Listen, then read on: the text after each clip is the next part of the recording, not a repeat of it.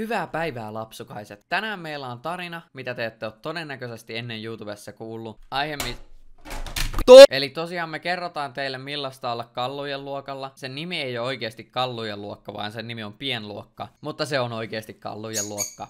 Meidän pitää antaa pikkusen backstory, että miksi teidän rakas ystävänne Jus on laitettu kallujen luokalle. Mulla on semmonen hieno juttu kuin ADHD. Se jostain syystä diagnosoitiin silloin, kun mä olin Eskarissa sillä, että mut pistettiin virkkaamaan ja rakentamaan semmosista pienistä tiiliskivistä taloja. Mutta ne päätti, että ne pistää mut rakentamaan pienistä tiiliskivistä taloja, ja sitten ne siitä jotenkin päätteli, että mulla on ADHD. Mutta mä tykkään virkkaamisesta vielä tänäkin päivänä, niin mä en valita. Ja niille, jotka nyt ei silleen niin kuin tiedä, niin ADHD vaan on yksinkertaisesti silleen, että you don't focus good. Varmaan kaikki kyllä tietää, koska se on aika yleistä nykyään. Mutta sä et vaan keskity hyvin. Tai et pysty keskittymään johonkin asioihin.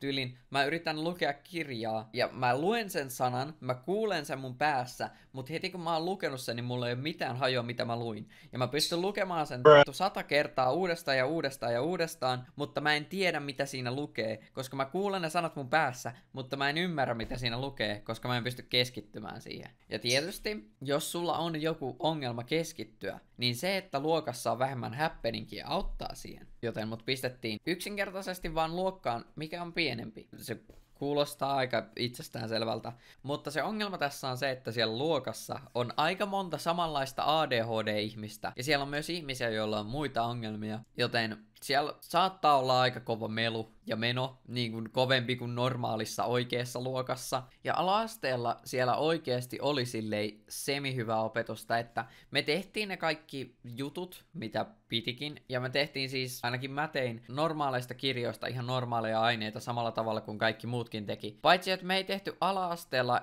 ikinä niitä kirjoja loppuun. Mä en tiedä tehtiinkö niitä normaaliluokalla ikinä loppuun asti, mutta me ei ainakaan tehty ikinä niitä kirjoja loppuun asti. Ja sitten tietysti ne aineet, missä mä olin tosi hyvä, niin pidettiin normaalien lasten luona jostain syystä, että tyyliin englannin tunnit pidettiin normaalien lasten luokalla eikä kallujen luokalla. Oikeasti ala-asteesta, no ensinnäkin mä en muista siitä paljon, mutta siitä opetuksesta ei ole mitään muuta sanottavaa kuin se, että oli tosi outoa, että meillä oli kolmas luokalla opettaja, mikä ei ollut opettaja. Siis sillä ei ollut opettajan koulutusta. Se opiskeli opettajaksi, mutta se ei ollut vielä opettaja. Sitä opetettiin opettajaksi ja se oli aloittanut opettajaksi kouluttautumisen silleen niin kuin sinä vuonna. Mun mielestä oli vähän jännä. Mutta sitten yläasteella asiat muuttu paljon jännempään suuntaan, koska alaasteella me vaan opiskeltiin mut pienemmässä ryhmässä. Mutta yläasteella meillä taas oli mielenkiintoisia opettajia. No, me vieläkin käytiin tekemässä ne niin kuin tietyt aineet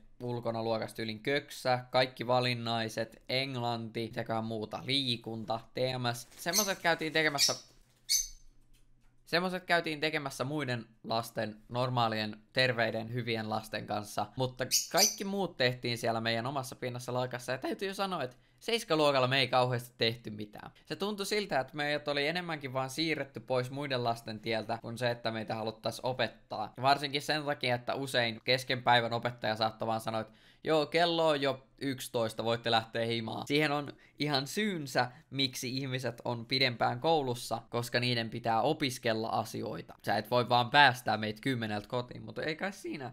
Ei tehty ihan kauheasti asioita. Meille ei opetettu ihan kauheasti asioita. Meillä oli kasiluokalla normiopetusta, mutta sitten toisaalta taas tuntui siltä, että aika moni asia puuttu. Ja mä oon huomannut nyt jälkikäteen, että meille ei opetettu tosi monta asiaa, mitä kaikille muille opetettu. Meille ei opetettu, miten äänestetään. Mulle on kerrottu, että kaikille muille on opetettu se. Meille ei kerrottu, miten veroja maksetaan. Meille ei kerrottu, miten kello toimii kokonaan. Meille kerrottiin vaan tasatunnit ja puoltunnit. Mutta meille ei kerrottu tyyliin, mikä on vartin yli. No ylipäätänsä mulla on tosi paljon, mä en tiennyt mikä on kilosta se pienempi versio. Se on gramma, mutta mä en tiennyt sitä. Niinku tosi moni tommonen perusjuttu, mitä meille ei vaan koskaan opetettu, yksinkertaisesti. Mut joo, kasiluokalla meillä oli silleen semi-normiopetusta. Mutta luokalla se meni tosi läpäksi. Meillä oli tosi, tosi mukava opettaja. Se mun täytyy antaa sille jätkälle. Itse niistä aineista me ei tehty oikeasti yhtään mitään. Meillä ei ollut edes kirjoja siinä vuonna. Niin kuin kaikkina aikaisempina vuosina meillä oli kirjat. Meille annettiin kirjat, mutta melkein joka ikinen meistä vaan hukkasi ne johonkin, koska niitä ei tarvittu. Me ei tehty aineita enää. Me vaan katsottiin Niilo 22 videoita siltä taululta. Ja sitten se vaan jostain päästä heitti meille numerot.